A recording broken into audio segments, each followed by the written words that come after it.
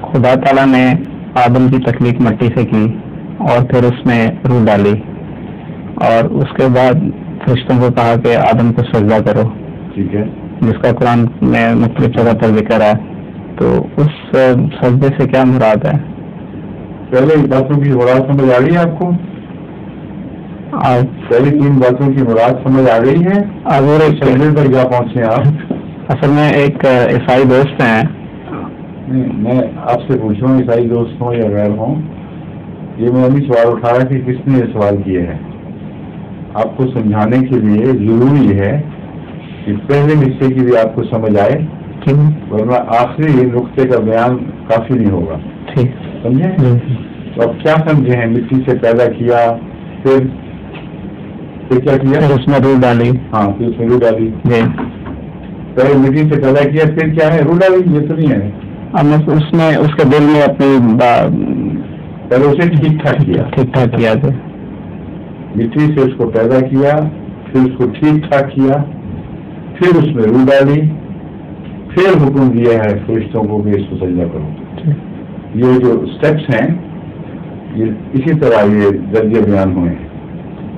تو پہلے آپ بتائیں مٹی سے پیدا کیا سے کیا مراد ہے؟ مٹی گونج کے ایک مٹی کا بازو بنایا اور اس کو بھی ٹھیک ٹھاک کر دیا اس کے جوڑ جوڑ درست کر دیجیے مراد تو نہیں ہے۔ بہرحال خدا تعالیٰ نے جو ایک تکلیف کی اس کی آغاز بھی مٹی سے ہے اور انحصار بھی مٹی پر ہی رہے گا۔ بغیر مٹی کے ہماری زندگی کی بقا کا کوئی انحصار نہیں ہے۔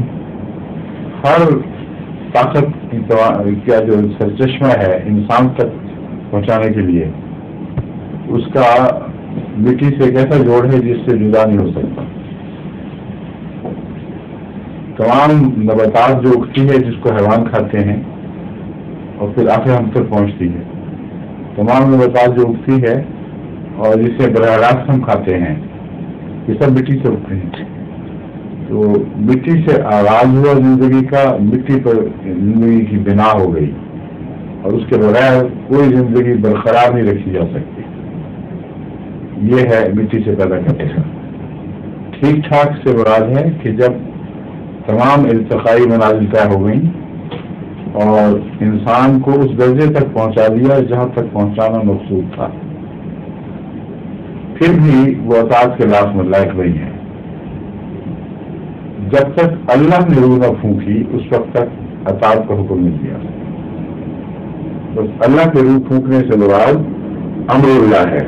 اور امر سے مراد وہی ہے۔ اور وہی ہے نبوت، جس میں عوامر اور نواحی ہیں۔ روح کی تعریف قرآن کے لیے میں خود فرمائی ہے یا سنو میں جانے روح تو یہ روح من امر ربی۔ تو امر کی بھی ایک قسم ہے۔ اس لیے زندگی کی وہ روح مراد ہو جس سے انسان باقی حیوانات سے جدا اور ممتاز ہوتا ہے، تب بھی روح سے مراد امر الہی ہے، امر کے بغیر یہ روح نہیں بنتی۔ اور باقی جانوروں میں نفس تو سب میں مشترک ہے، انسان میں بھی ہے۔ مگر روح کا ذکر کہیں نہیں ملتا۔ کہ باقی جانوروں کو ہم نے روح ادا کی۔ روح وہ ترقی یافتہ صورت ہے نفس کی، جس میں نفس زندگی، مادے سے الگ ہو کر بھی اپنی حیثیت میں زندہ رہنے کی صلاحیت پر اختیار کر لیتا ہے۔ یہ معنی بھی درست ہے اور اس مقام پر پہنچ کے انسان کو شریعت ملی ہے۔ اور جب شریعت ملی تو پھر اس کے احتیاط کا سوال شروع ہوا ہے۔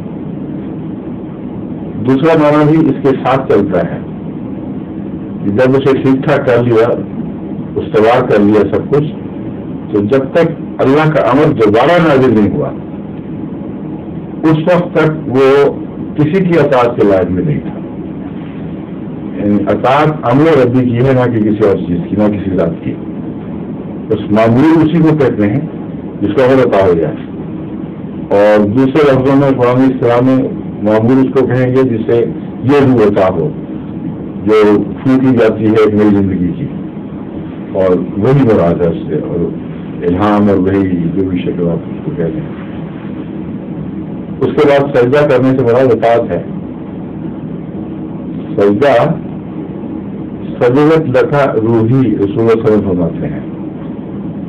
اب روح کیا پروٹیسٹ پروسٹیٹ ہو سکتی ہے اس طرح؟ روح کی چپ ایسی شکل وہ روح تو ہر وہ سجدہ ایسی مراد ہے اطاعت کرتی ہے۔ تو جہاں غیر اللہ کا ذکر آئے، اس کی اس کو سجدہ کرو۔ جیسا کہ حضرت یوسف کے حوالے میں بھی ملتا ہے، وہاں اطاعت مراد ہے، اس کے سوا نہیں۔ ٹھیک ہے؟ قرآن کریم جب وہ پورا کرنے کا وقت آیا ہے حضرت یوسف کی رویا تھا، جس کی تعبیر ان کے بزرگ والد نے فرمائی، تو آنے کے بعد ان کو تخت پر بٹھایا ہے اور باقیوں کو نیچے رکھا ہے۔ کیا حکم کی نافرمانی تھی؟ ان سے سجدہ کروا لیا اور ماں باپ جو سجدے میں شامل تھے ان سے نہیں کرایا یہ مسئلہ ہے اصل ہم۔ بات یہ ہے کہ سجدے سے مراد وہ سمجھے ہی نہیں، یہ بعض میدان سمجھتے ہیں۔ اور وہ سہر عمل تھے اپنی وراثت میں۔